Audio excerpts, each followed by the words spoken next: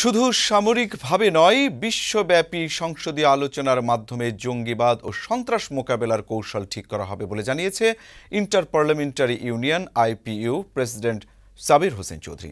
সকালে রাজধানী বঙ্গবন্ধু আন্তর্জাতিক সম্মেলন কেন্দ্রে আইপিইউ সম্মেলনের মিডিয়া সেন্টারে সংবাদ সম্মেলনে তিনি কথা বলেন।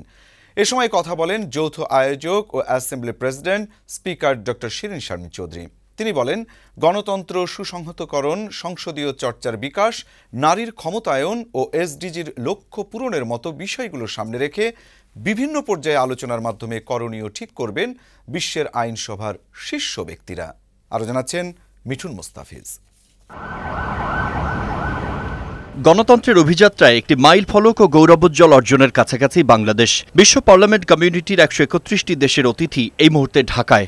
আইপিইউ সচিবালয়ের তথ্য অনুযায়ী একশো চৌষট্টিটি ডেলিগেশন বাংলাদেশে পৌঁছেছে। এর মধ্যে একশো বত্রিশটি সংসদীয় ডেলিগেশন। পঁয়তাল্লিশ জন স্পিকার সাঁত্রিশ জন ডেপুটি স্পিকার ও সংসদ সদস্য সহ মোট তেরোশো আটচল্লিশ জন অতিথি যোগ দিচ্ছেন একশো আটাশ বছরের পুরনো ঐতিহ্যবাহী ইন্টার পার্লামেন্টারি ইউনিয়ন আইপিইউ এর একশো ছত্রিশতম সম্মেলনে।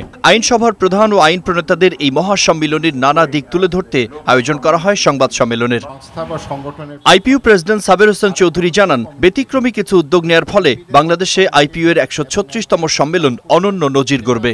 আমরা আইপিওর ইতিহাসে এবং বাংলাদেশের ইতিহাসে প্রথমবারের মতো একটা আয়োজনকে গ্রিন অ্যাসেম্বলি হিসাবে আমরা দাঁড় করানোর চেষ্টা করছি। উন্নয়ন শান্তি ও নিরাপত্তা বিঘ্নকারী জঙ্গিবাদ ও সন্ত্রাসের মতো অপশক্তি রুখে দিতে বিশ্বের আইনসভার শীর্ষ ব্যক্তিদের নিয়ে সম্মেলনে করণীয় নির্ধারণ করা হবে বলে জানান আইপিইউ সভাপতি। শুধু সামরিকভাবে এটাকে মোকাবেলা করাটা ঠিক হবে না জঙ্গিবাদের ক্ষেত্রে সরকার যা করছে সেটা আছে।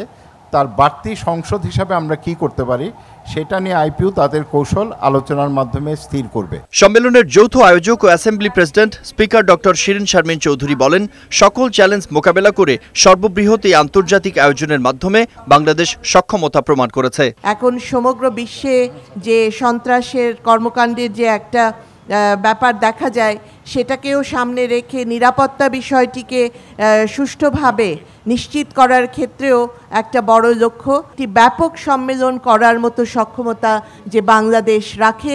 এক প্রশ্নের জবাবে আইপিইউ সেক্রেটারি মার্টিন চুঙ্গং বলেন বিশ্বের সংসদীয় ও নৈতিক ঐক্যের প্ল্যাটফর্ম আইপিইউ তাই বৈশ্বিক সংকট কাটাতে আইনি ও নীতি সহায়তা দিয়ে কাজ করবেন তারা। We are not the gendarmes, we are not the policemen of the world.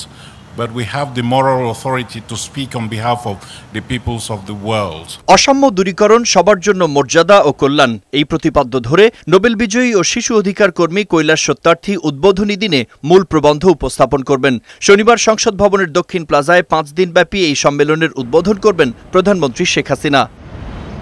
উনিশশো বাহাত্তর সালে আইপিইউ এর সদস্য পদ পায় বাংলাদেশ। এর ৪৫ বছর পর প্রথমবারের মতো সম্মেলন হতে যাচ্ছে ঢাকায়, যা দক্ষিণ এশিয়ারও সবচেয়ে বড় আন্তর্জাতিক সম্মেলন। মিঠুন মোস্তাফিজ, বৈশাখী সংবাদ, ঢাকা।